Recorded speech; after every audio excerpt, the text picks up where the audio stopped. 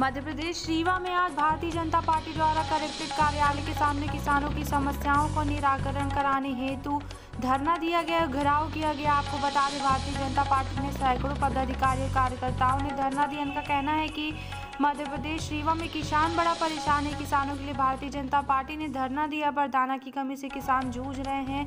धान की समस्या बनी हुई इस कार्यक्रम में मुख्य रूप से रीवा सांसद जनाब मिश्रा जी रीला एवं कई विधायक शामिल रहे।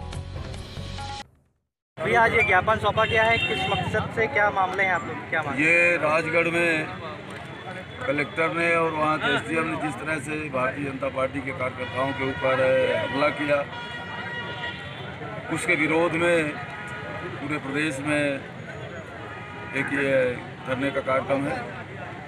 उसके सिलसिले में ये किया गया। स्थानीय मुद्दों में हमारे ज़िले में धान की खरीदी बंद हो गई है। इसके बाद कोई धान खरीदी नहीं की जा रही है। और हर खरीदी केंद्र में 300-400 ट्रालियाँ लिए किसान 10 दिन से लगातार पड़े हुए हैं और सरकार से हम लोगों ने मांग की है कि धान की खरीदी यथाशीघ्र करवाई जाए जो एक एक किसान का एक किसानों के एक एक दाने की खरीदी हो और अगर इसकी खरीदी नहीं होगी और खरीदी प्रारंभ नहीं हुई तो आगे चल कर के एक बृहद आंदोलन का भारतीय जनता पार्टी